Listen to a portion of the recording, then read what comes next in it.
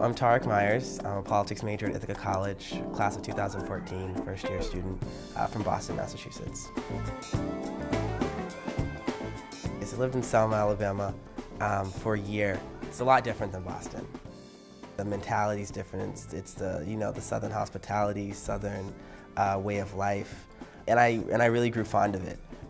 The other thing about Selma, it's the bedrock of the civil rights movement, which is something as a fourth grader you don't realize or you don't think about. I'm a Martin Luther King Jr. Scholar at Ithaca College. One of the things the Scholars Program is teaching me is that you, you stand strong on the backs of those that came before you. I've always been told from a young age that it's my job to leave the world different than the way I came.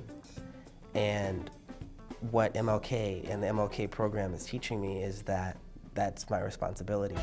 I wanted to be part of the 2011 Student Freedom Ride because when you're trying to mobilize, you feel you feel alone, you feel drawn out as if there's not others to stand with you all the time.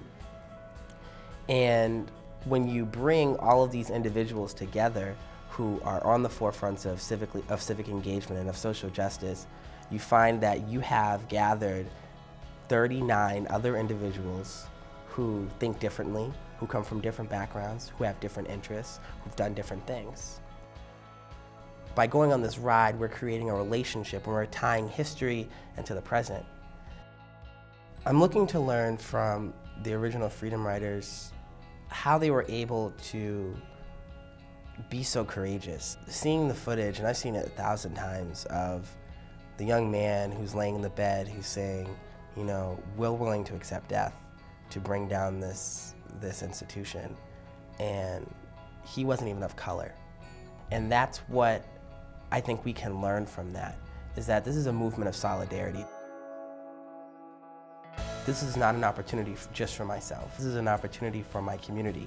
This is an opportunity for my family. This is an opportunity for my friends because this is an opportunity to learn of the stories, people who, who embodied the nature of endless sacrifice, who fought for the freedoms that we have now. The notion of, of a, a parent having to say, you know what, it's okay for you to board this bus, for you to drop out of school, for you to go down south knowing that I may not see you again, is, I think, a lot to bear as a, as a parent. Now it's a matter of joy because I've made it to higher education and it's a matter of joy because I can continue on that path, knowing that I'm going to learn of a history that's bigger than myself and then bring that history back.